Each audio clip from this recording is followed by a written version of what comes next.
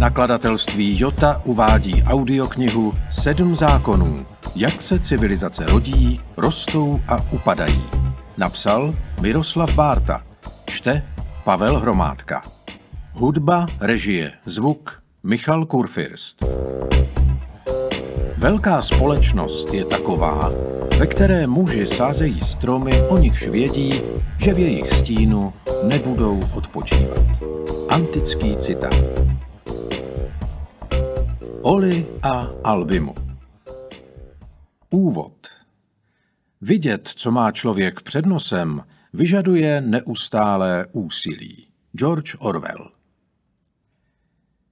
Často dostávám dotaz typu, proč jsou ty vaše nebo tvoje knihy, podle toho, jak moc se s kým znám, tak tlusté a složité. Kdo to má číst? Nejde to říci stručně a bez cizích slov.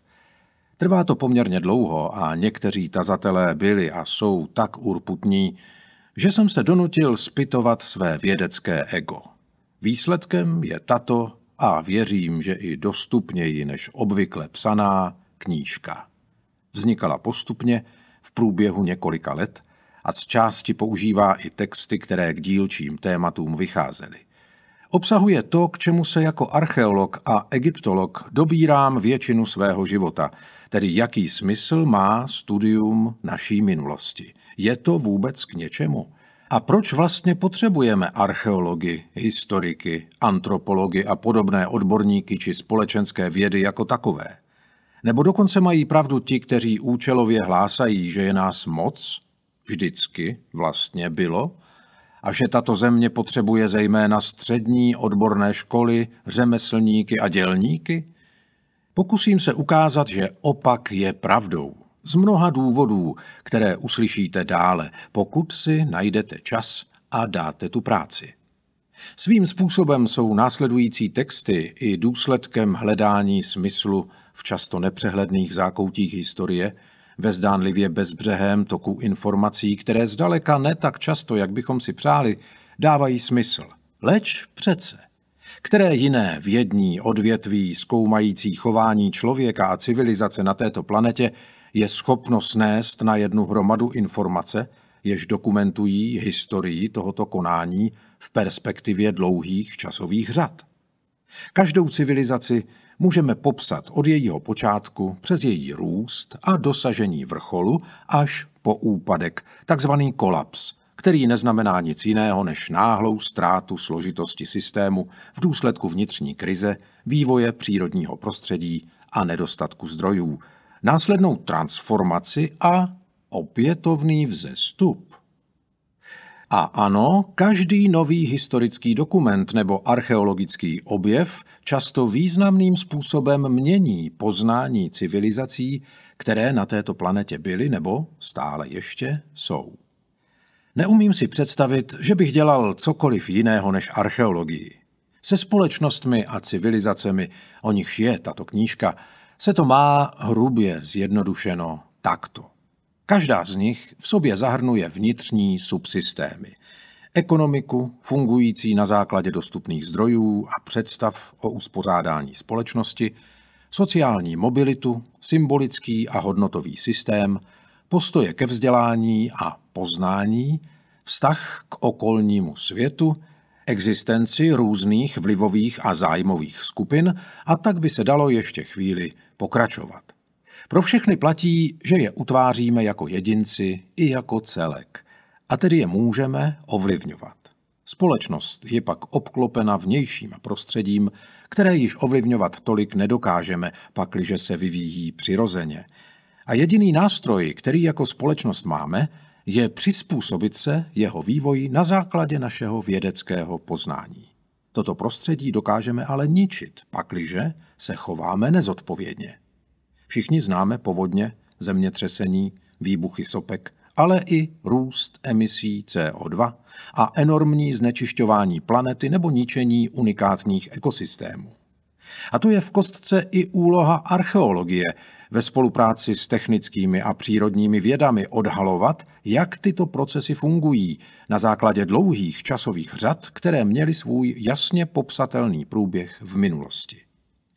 Proběhly Od začátku do konce a jsou jasně popsatelné. Opakovaně. Stále znovu.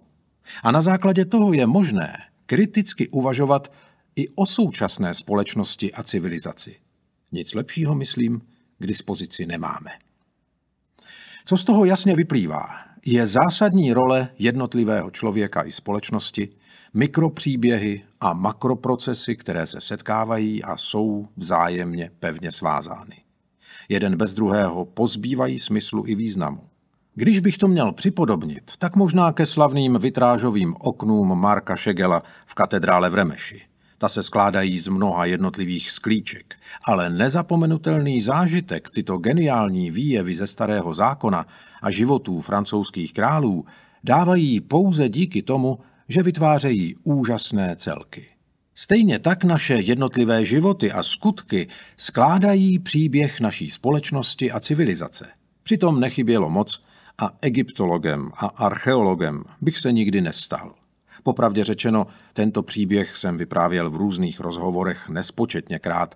Chodil jsem do páté třídy, často zlobil a třídní paní učitelka Mája Vajtová se uchýlila ke krajní možnosti, jak mé aktivity otupit a uložila mi trest. Ten spočíval v tom, že jsem se z učebnice dějepisu, která měla na deskách kresbu slavného býka z Altamíry, musel naučit dlouhý text o pyramidách v Gíze.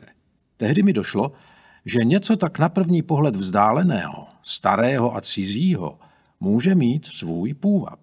Hory kamení, ale jen na první pohled. Začal jsem objevovat kouzlo starých civilizací, vzniku člověka v Africe. V 80. letech minulého století šlo spolehlivě o země, kam nebylo pravděpodobné, že bych se podíval. Pro mě to vše neslo ještě jeden velký bonus. Byl to svět ticha, bez lidí, bez komplikací. Stačilo otevřít knížku. Už tehdy jsem se chtěl stát archeologem, který v ústraní objevuje zmizelé světy a příběhy a nemusí se moc zabývat tím, v čem tehdy žije. Po roce 1989 se svět náhle otevřel a já v roce 1991 jako mladý student egyptologie vyjel poprvé na pravou archeologickou expedici do Egypta. Stále však platilo, že šlo o práci nahony vzdálenou běžnému životu. Až časem, když jsem začal i díky privilegiu spolupráce s mnoha skvělými vědci ze společenskovědních, přírodovědných a technických oborů poznávat, že studium těchto pradávných civilizací je paradoxně aktuální, jsem se, aniž by to byl můj původní úmysl, začal vyslovovat k současnému světu. Nevím proč, ale dodnes žasnu nad tím, co všechno nás, lidi a civilizaci 21. století spojuje s dávno zmizelými světy. Můj původní záměr mít klid v ústraní, nabádání nad civilizacemi, již dávno přišel vniveč, ale v životě je vždycky něco za něco. Mými souputníky se tak v posledních letech stala témata prezentovaná v této knížce. Je pravda, že od čisté archeologie jsou někdy značně vzdálená, bez archeologie by však nevznikla. Doufám, že další poslech poskytne čtenáři výmluvné doklady o tom, že historii a perspektivu dlouhých časových řad potřebujeme. V dnešní době s tolika výzvami zakořeněnými hluboko v minulosti, dokonce ještě naléhavěji než kdy jindy. Možná je komplikované si je právě teď uvědomit, ale co třeba takzvaná klimatická změna, migrace, identita, mandatorní výdaje, rodina, role elit, informační války, levné zdroje energie, technologický pokrok, složitost společnosti, role práva a zájmových skupin nebo úloha válek a společenské smlouvy. Všechny tyto jevy mají svou hlubokou historii a v současnosti je zažíváme buď na vlastní kůži, nebo zprostředkovaně prakticky každý den. Útočí na nás ze všech stran. Už jen pochopit je představuje až nadlidský výkon. Přitom jejich povaha a dopady jsou zásadní, pokud chceme chápat svět kolem sebe. A je jisté, že technologická inovace, nové mety ve výrobě počtu aut, růst HDP o procento či více, nebo otevření nového chrámu dneška, nákupního centra nebo fotbalového stadionu, nám toto chápání zásadně neusnadní. A to, že naše sebevědomí a zažité fungování světa kolem nás změnila během roku 2020 zásadním způsobem a takřka přes noc epidemie COVID-19, je jen další ukázkou relativnosti a křehkosti námi budované civilizace. Nekážu kolaps, to bych ani nemohl, protože věřím ve skvělou budoucnost člověka. Právě proto se snažím porozumět tomu, co nám naše historie říká o nás samotných a o možných komplikacích na naší cestě časem a prostorem. Naše minulost, myslím tím minulost člověka na této planetě, historie, archeologie dlouhých časových řad a srovnávací studium civilizací má skutečný význam. Vyprávějí ji především právě ony dlouhé časové řady. Co znamenají? Především to, že všechny civilizace, které jsme doposud mohli zachytit, které studujeme a zkoumáme, včetně té naší, západní, můžeme studovat v rámci celých procesů, od jejich začátku do konce. Právě ty ukazují, že civilizace se nevyvíjejí náhodně. Samozřejmě nelze na ně aplikovat striktní algoritmy, nelze je používat k tomu, abychom odhalili budoucnost, ale jejich síla a význam spočívá v takzvaných sedmi zákonech vývoje civilizací, jimž se dále budu věnovat. Vyplývají z předpokladů, o kterých jsem právě mluvil. Tato audiokniha je totiž zejména o tom, co na základě vědy může udělat každý z nás proto, aby byl náš svět lepší. Když se podíváme na několik pomyslných vteřin, které tvoří historie a osudy civilizací v rámci celé existence naší planety, zjistíme, že za vším objevíme jako základní prvek vztahy mezi lidmi, myšlenky jedinců, dostupné zdroje a to, jak se člověk dokázal vyrovnat s prostředím, které ho obklopovalo a jeho proměnami v čase. Pevnou součástí tohoto proudu je také leadership, ačkoliv je toto slovo téměř ohavné, je stále lepší než historií 20. století zničené slovo vůdcovství. Jakkoliv jsem to neplánoval, tuto knihu jsem dopisoval v době další vlny koronaviru a s ní spojených událostí. Nazývejme je každý dle svého gusta. Nicméně i tento příběh, který zdaleka nekončí, by měl dávat smysl. Tedy pokud je teorie sedmi zákonů platná. A to rozsoudí naštěstí čas a ne okamžitý většinový názor. Ve prospěch těchto zákonů mluví možná i to, že státy, které zvládly v roce 2020 a 2021 pandemii covidu nejlépe, jsou ve těmi, kde existuje silná občanská společnost, špičková věda, politika s legitimitou, leadership a silná ekonomika. Jakou tedy má o něch sedm zákonů podobu? Pokud váháte, zda máte věnovat svůj čas naslouchání sedmi následujícím kapitolám, zde následuje jejich přehled. Kapitola první. Zákon kolapsu a regenerace. Všechny společnosti a civilizace jsou omezené v čase a prostoru. Na jejich začátku i konci stojí obvykle konflikt. Jejich kolaps neznamená zánik, ale zásadní přeměnu, kdy daná společnost nebo civilizace obvykle přechází do jiné. Kapitola druhá. Zákon skokové změny. K zásadním změnám ve vývoji společností a civilizací dochází náhle, jakoby skokově, nikoliv lineárně.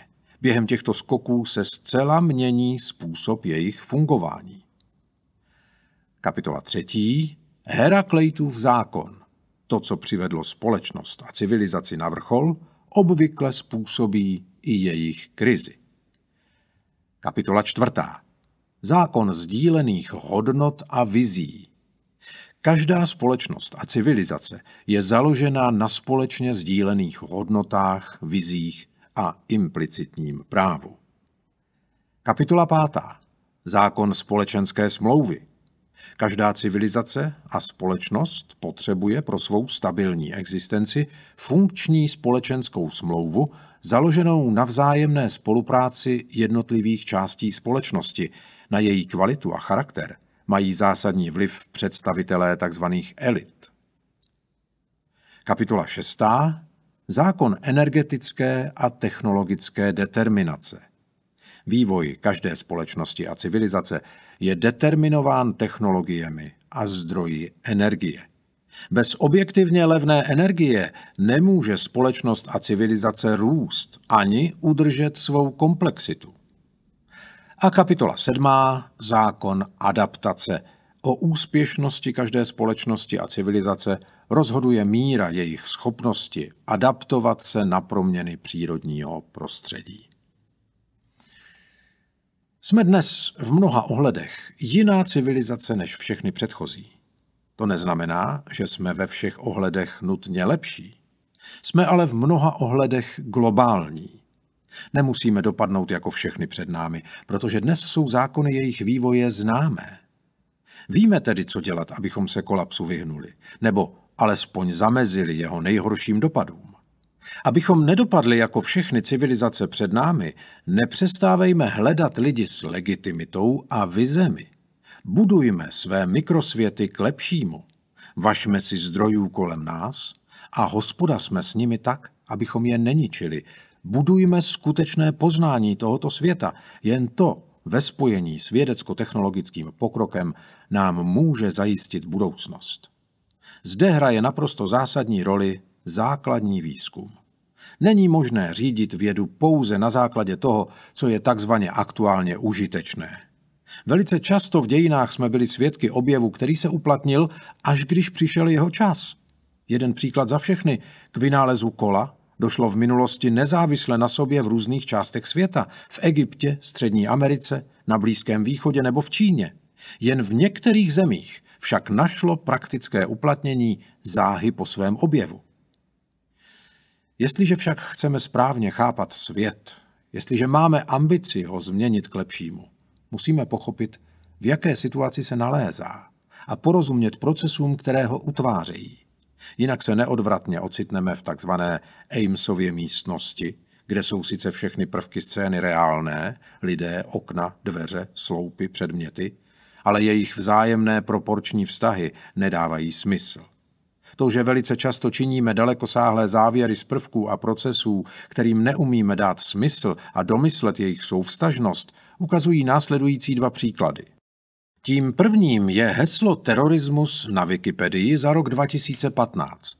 Když Hans Rusli obsah tohoto hesla srovnal s globální databází teroristických útoků Global Terrorism Database GTD, zjistil, jak snadno mohou být tzv. trendy zavádějící. Zatímco data na GTD byla pochopitelně objektivní, heslo na Wikipedii, kterou sám považuji za skvělý projekt, postrádala téměř 80% všech obětí teroristických útoků. Z útoků v takzvaném západním světě zde byly skoro všechny, zatímco z těch ostatních byla zahrnuta pouze čtvrtina. Druhým příkladem je pak pravidelný report Mezinárodní nevládní švýcarské společnosti se sídlem v Ženevě s názvem World Economic Forum. Ta každoročně publikuje řadu inspirativních studií, včetně prognóz dalšího vývoje. Sem patří i The Global Risks Report 2020. Právě v této zprávě jsou uváděny hlavní rizikové faktory projektované na další kalendářní rok, a to ve smyslu pravděpodobnosti výskytu i síly možného dopadu. A jsme u zdroje problému. Když se podíváme dobře na způsob jejich formulování, zjistíme, že minimálně u části z nich byl, ať již podvědomně nebo záměrně, použit způsob retroaktivního projektování. To znamená, že tvůrci těchto tabulek nezřídka vzali ten faktor, který byl v daném roce viditelný a pozorovatelný a automaticky ho umístili na přední místo i do dalšího roku. Typicky Jestliže v roce 2010 byl svět postižen velkými výkyvy klimatu, byl tento faktor umístěn i do roku 2011, kdy jako naschvál žádné velké excesy v tomto směru nenastaly. A bohužel v roce 2009, kdy se definovaly hlavní rizikové faktory pro rok 2010, nikdo nic takového z renomovaných ekonomů neviděl – Podobně v roce 2006 nikdo z autorů těchto tabulek nepředvídal kolapsy velkých investičních fondů, které ale v roce 2007 nastaly, když v srpnu skolabovaly dva velké investiční fondy banky Bear and Stearns. Samozřejmě v roce 2007 pak již bylo jasné, jaký bude hlavní rizikový faktor nadcházejícího roku 2008 a dalších několika let.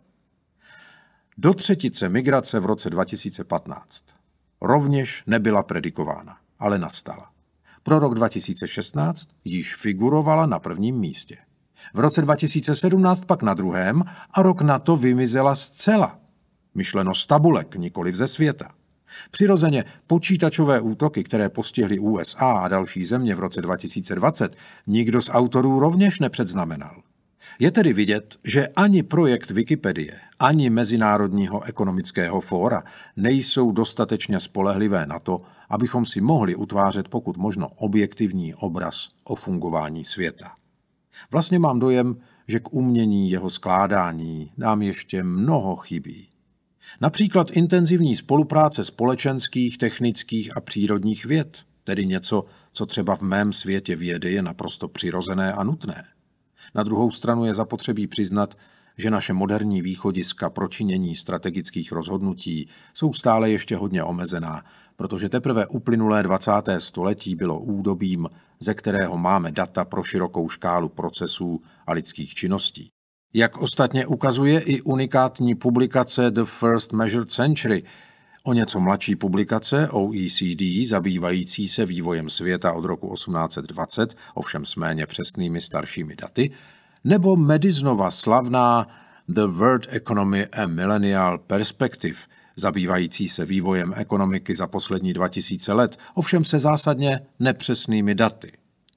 Když se v rámci dlouhých časových řad ohlédneme za naší minulostí tisíce let naspět, velice snadno zjistíme, že přes veškeré hrůzy je cesta člověka časem lemována nespočetnými úspěchy.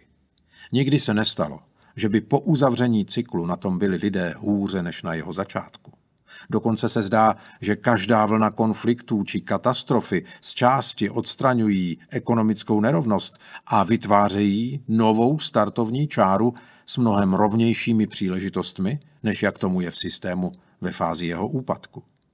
Je bez diskuze, že lidstvo se neustále zlepšuje v tom, co dělá člověka člověkem. Starost o druhé, lidskost, soustrast, soucit, ambice pomáhat slabším a zlepšovat svět. Stačí na chvilku zalistovat knížkou Hanse Ruslinga s názvem Faktomluva, abychom snadno zjistili, že jen za posledních 20 let se počet lidí žijících v absolutní bídě, tedy lidí s příjmem asi 40 korun na den, snížil na třetinu. Že nejméně 80% všech dětí na světě je dnes očkováno proti smrtelným nemocem a více jak 60% dívek v nejchudších zemích má přístup alespoň k základnímu vzdělání. Naproti tomu 780 milionů lidí na planetě nemá k dispozici bezpečný zdroj upravené vody a 2,5 miliardy lidí nemá možnost užívat zdravotně nezávadné toalety. Hans Rusli dělí obyvatele planety do čtyř skupin podle ekonomické úrovně. Úroveň 1 znamená příjem asi 22 korun na hlavu a den – Žijete v rodině s pěti bosými dětmi, které stráví několik hodin denně nošením vody, často nevalné kvality, pro domácnost ze vzdálenosti několika kilometrů. Topíte si na otevřeném ohni v jediné místnosti a některé z vašich dětí zemře před dosažením dospělosti. V tuto chvíli je takových lidí asi miliarda. Úroveň 2 znamená, že denně vyděláte asi 90 korun. Máte elektřinu a děti můžou psát úkoly i posetnění. Také mají boty a kolo. Vlastníte plynový vařič. Občas si koupíte potraviny, takže nejste závislí jen na tom, co vypěstujete nebo najdete. Nanosit vodu ke každodennímu životu nyní trvá jen 30 minut. V těchto podmínkách žijí dnes asi 3 miliardy lidí. Na úrovni 3 žijí další 2 miliardy lidí. Váš příjem nyní činí 350 korun a máte stálé zaměstnání, pracujete 16 hodin 7 dní v týdnu. Máte elektřinu a ledničku. Dvě z vašich dětí mohou studovat střední školu. Konečně minimální příjem úrovně 4, tedy 700 korun a více, má dnes zhruba miliarda lidí. Při necelých 8 miliardách obyvatel, tedy zhruba jeden člověk z osmi. Absolvovali jste nejméně 12 let školní docházky a taky jste už letěli letadlem. Doma máte přívod teplé i studené vody. Vlastníte auto a jednou za měsíc si výjdete do běžné restaurace. Téměř 7 miliard lidí na světě o této úrovni jen sní. Z Ruslingových dat vyplývá, věřím velice jasně, že tento svět již mnohé dokázal na své cestě dopředu, ale že má zároveň ještě dlouhou cestu před sebou. A možná to nejdůležitější nakonec. Nebojme se každý z nás přijmout svou odpovědnost za budování tohoto světa. Nikdo z nás tuto odpovědnost nesejme. Spojujme se s cílem věcně řešit každodenní problémy, jejichž podstata je však mnohem obecnější. Naše mikrosvěty jsou totiž odrazem světa obecného, celoplanetárního a naopak. Pokud se totiž nenaučíme řešit globální problémy globálně, může se stát, že naše selhání bude mít fatální důsledky. Máme však jako první v historii člověka na této planetě poznání, vědomosti, technologie i prostředky, abychom to dokázali. Kéž bychom tímto filtrem prošli. Všichni si podvědomě přejeme změnu. Nadáváme na současnou politickou situaci. Jsme skeptičtí k budoucnosti a stále očekáváme, že někdo přijde. Pravda je taková, že změnu máme v rukou jen my. Pokud si přejeme lepší budoucnost, nezbývá, než abychom se o ní přičinili my sami. Občanská společnost. Změna musí přijít z dola. S tím ale úzce souvisí i role lídrů a vizionářů, kteří jsou schopni ukázat a pojmenovat věci, které ostatní nevidí a natchnout je pro ně. V tom spočívá i možné využití sedmi zákonů. Pokud chceme změnit budoucnost, pokud se chceme vyhnout kolapsům tak, jak je známe z historie, tyto zákony to mohou umožnit. Vidět na horizontu událostí blížící se změnu a vytvářet ostrůvky stability, tak jak to kdysi ve své nadaci navrhl Izák Asimov a překonat nejhorší okamžiky krize. Pokud víme, co nás může potkat, můžeme udělat mnohem více než naši předchůdci, abychom se tomu nejhoršímu vyhnuli. Aplikace sedmi zákonů, kterými se zde zabývám, věřím, může být významným nástrojem pro zlepšení stability a udržitelnosti lidské civilizace na naší planetě. Když se ohlédnu zpět do minulosti a zaposlouchám se do duchovního odkazu různých společností a kultur, slyším prakticky stále totéž. Slova a myšlenky o víře v lepší svět, pokoře a bázni před řádem, který je přesahoval. A zároveň ambici být lepší a starat se o tento svět. Viděl jsem to na různých kontinentech ve formě monumentálních památek různých forem, ale podobného významu. Vnímal jsem to na cestách mezi lidmi, jejichž jménami již vymizela z paměti, ale kteří pracovali, aby mohli žít, lovili, aby se najedli a věřili, že mozaika života dává smysl, ať již převažují ty nebo ony odstíny barev. Historie je plná příběhů lidí, které se nezapomínají. A moc si přeji, aby taková byla i doba, kterou utváříme my. Není náhodou, jak ostatně píše i Walter Isaacson ve své knize Inovátoři, že lidé, kteří dnes mění svět, jsou ti, kteří dokáží kombinovat technologie, vědu a umění. To o sobě ostatně sám řekl i Steve Jobs – v mládí jsem se vždycky považoval za humanitně zaměřeného člověka, ale měl jsem rád elektroniku. Nepřeju si nic jiného, než abychom v takovém prostředí žili i my v naší zemi, aktuálně technokratické a zaměřené převážně na výrobu v továrnách. Zemi, která se nechlubí svými investicemi v zahraničí, ale tím, že investice do ní přicházejí. Tato audiokniha se snaží si na nic nehrát. Není vědeckým výstupem grantu, není manuálem, zřejmě není ani poutavým románem, co přečtete za den a bez dechu. Je to moje osobní vyrovnání s tím, co se mi podařilo o civilizacích současných a minulých pochopit. V následujícím povídání se snažím o nich schrnout to, co by se ve stručnosti dalo z pohledu historie, dlouhých časových řad a osudů člověka – pojmenovat jako konečnost a konflikt, nespojitost a neočekávanost, počátek a kořeny krize v něm, etika, vize a sdílené normy chování, společenská smlouva a elity, technologie, složitost a zdroje energie a konečně schopnost adaptace a odolnost.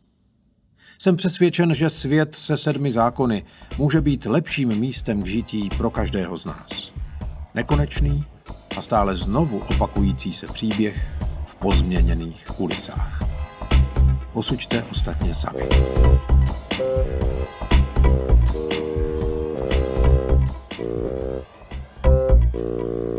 Kapitola první. Zákon kolapsu a regenerace. Všechny společnosti a civilizace jsou omezené v čase a prostoru. Na jejich začátku i konci stojí obvykle konflikt. Jejich kolaps neznamená zánik, ale zásadní přeměnu, kdy daná společnost nebo civilizace obvykle přechází do jiné.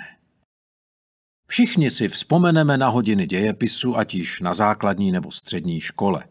Kromě hromady letopočtů a historických postav, které nám nic neříkali, výjima toho, že někdo byl větší král než druhý a tento zloduch byl horší než tamten, jsme se do úmoru lopotili se jmény osob, společnostmi a civilizacemi, které sice existovaly a měly být údajně, často to již nelze snadno poznat, slavné, přesto ale neexistují. Mezi prvními otázkami, které se v této souvislosti nabízejí, jsou samozřejmě ty naprosto nejjednodušší. Proč už tady tedy nejsou? A proč mají být vlastně důležité? Co nám na nich sejde, že? A nebo by snad mělo? Na ty další otázky, tedy proč je vlastně studovat společně s těmi existujícími, se budu snažit odpovídat průběžně v celé audioknize. A na předchozí nabídnu vysvětlení v této kapitole. Takže začínám jednoduchým konstatováním, že většina civilizací popisovaných v historických nebo archeologických knihách už neexistuje a že procházela vývojem, který nebyl lineární ani pozvolný, ale udával se v jakýchsi skocích. Více o tom budeme mluvit v zákonu druhém. Možná to bude pro někoho překvapení, ale poukáži i na to, že po jejich kolapsu byly nové kultury nebo civilizace obvykle vytvořeny těmi samými lidmi. Stále kupředu. Doopravdy? Jednou z velkých otázek v historii je, jakým způsobem se civilizace vyvíjejí v čase. Jak moc se vše skutečně opakuje.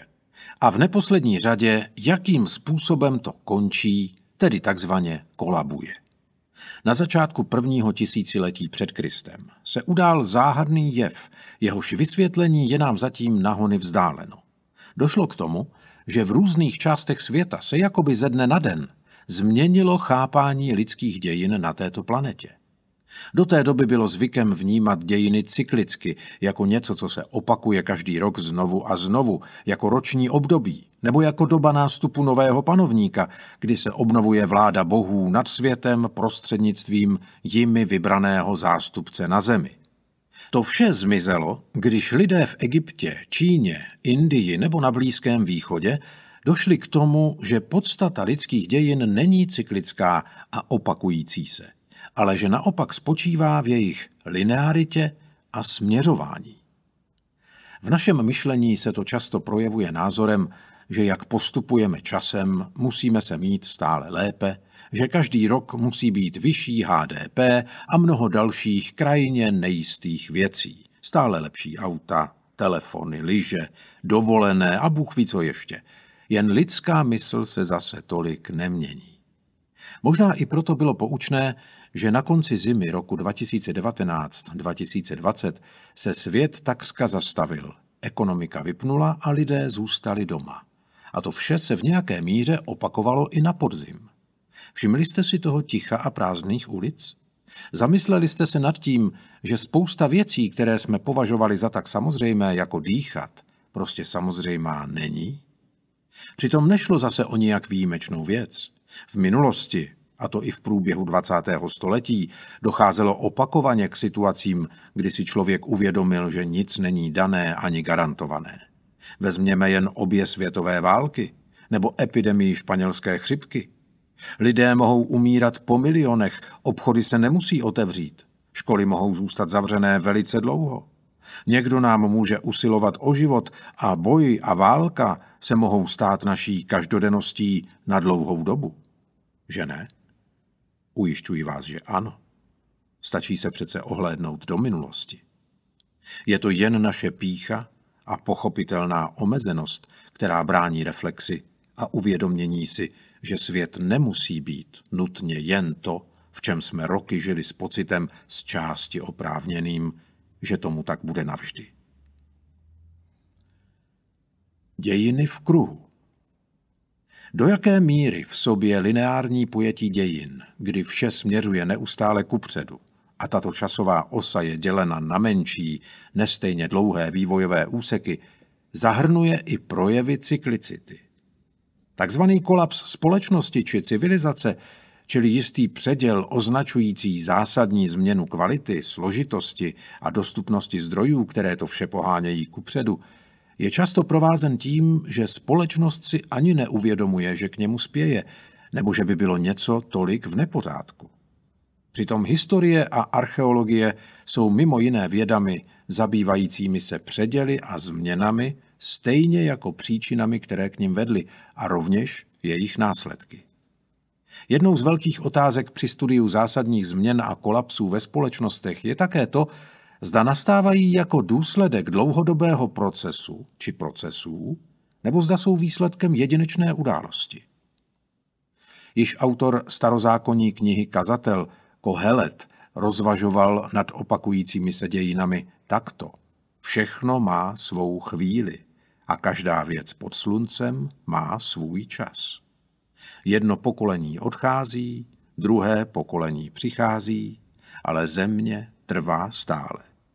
Co bylo, to bude, co se stalo, bude se opět dít a nic nového není pod sluncem. V tomto ohledu stojí za to zmínit i rozsáhlou a dodnes hojně čtenou a citovanou práci středověkého arabského učence Ibn Chalduna 1332 až 1406. Tomuto tématu se zevrubně věnoval v práci nazvané zkráceně Mukadima – ta se zabývá dějinami všech zemí, oblastí a národů, které přišly do styku s tehdejším islámským světem. Pro nás patrně nejdůležitější částí jeho úvodu je ta, která pojednává o přirozené délce života vládcovských dynastií, se kterými byl tento historik velice dobře obeznámen. Ibn Chaldun tvrdí, že k této změně či obnově se dospívá postupným procesem. Ibn Chaldun vycházel z toho, že žádná dynastie obvykle netrvala déle jak tři generace, přičemž délku každé z nich ustavuje na přibližně 40 let. Po této periodě, činící zhruba 100 až 120 let, nastává přeriv vedoucí k nové formě vlády. Při popisu tohoto mechanismu se přirozeně drží charakteristik, které platí zejména pro arabské beduínské dynastie. Ibn Chaldun sformuloval to, co si hloubavá mysl uvědomí i sama. Vybavuje se mi nedávný zážitek, kdy jsme s kamarádem Jakubem na toto téma vedli rozhovor. Jakub mi prakticky přesně zopakoval slova našeho arabského myslitele. Když jsem se udiveně zeptal, zda ho četl, opáčil, že nikoliv, ale že mu stačí se dívat. Kéž bychom častěji vnímali to, co vidíme. Přestože je zmiňovaný text starý již pěknou řádku století, lze ho do značné míry použít jako základ diskuze a analýzy toho, o co nám jde na tomto místě především, povahy změny. Textu nelze upřít jeho nadčasovost a aktuálnost, a to i dnes. Ibn Chaldun totiž říká zhruba toto, že existují cykly, které ohraničují vzestup a pád specificky vzniklých sociálních celků. Takovými mohou být dynastie, ale obecně i celé kultury, společnosti nebo civilizace. Na dalších stránkách se pak Ibn Chaldun zabývá i změnou, kdy je každá takováto dynastie, která se vnitřně vyčerpala, nahrazena jinou. To však nutně neznamená zánik ani zkázu.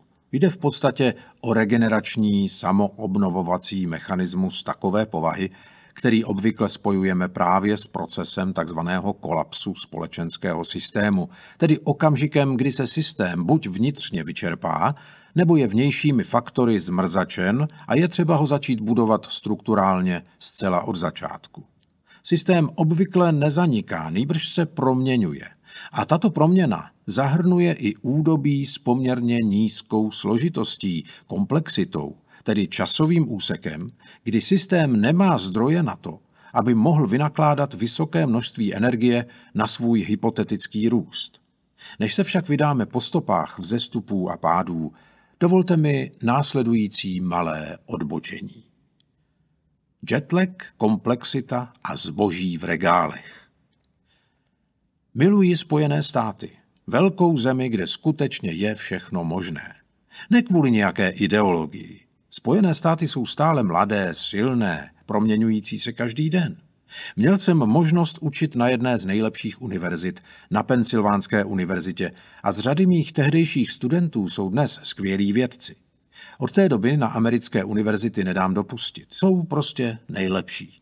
Miluji vzdálený zvuk amerických vlaků, všudy přítomný zvuk chladících jednotek, lidi ze všech koutů světa spěchající z kelímky kávy a čerstvými bejgly se sírem.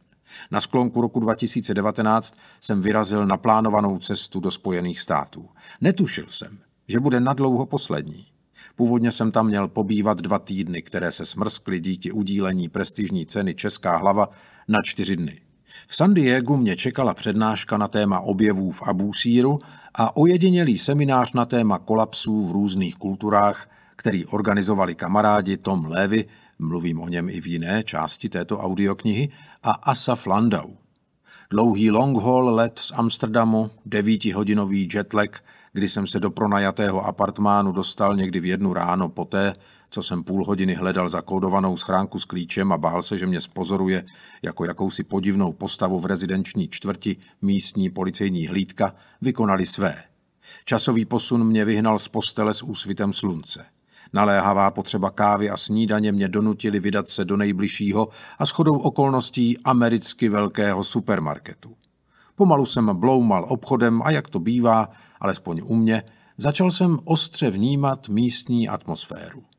A najednou jsem si uvědomil desítky metrů dlouhé nákupní regály, naplněné variantami jednoho a toho samého zboží, navíc z různých koutů světa. Ulička za uličkou, vždy každá z nich zastavěná těmi samými produkty v různých podobách.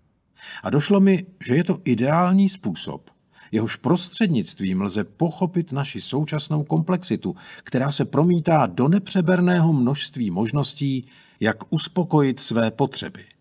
Právě ty regály po příletu se proměnily ve zhmotněnou energii, kterou musíme vyprodukovat, abychom udrželi v chodu takovýto svět. A to prostě není samo sebou, není to samozřejmostí ani něčím, co tu musí být na věky. Opravdu musíme zakládat naši složitost na vývozu mléka do Německa a po jeho zpracování na dovážení produktů z toho samého mléka na jablkách ze Španělska, rajčatech z Maroka a máslu z Francie? Nebo bychom měli usilovat o větší soběstačnost, která by vedla k menšímu zmaru krajiny, menším frustracím z nedostatku práce a konečně i k méně nesmyslným subvencím?